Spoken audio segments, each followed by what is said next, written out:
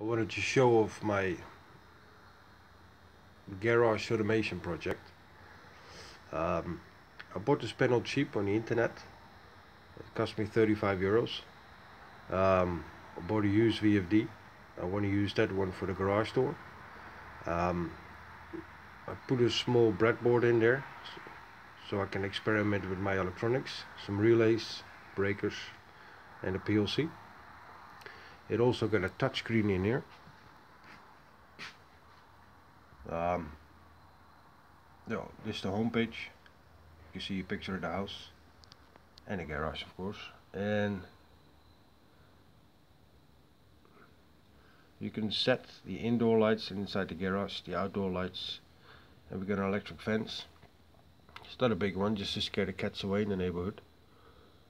There's auto settings for the outdoor lights and the electric fence. You can set automatic or manual.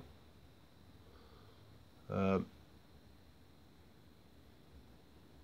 here we also get a garage button for the garage door. Push that one, the garage door will move. You can manually select the lights. We get an information screen with my name in it, of course and several options to uh, control the PLC and a touchscreen. But still the start. Um, yeah,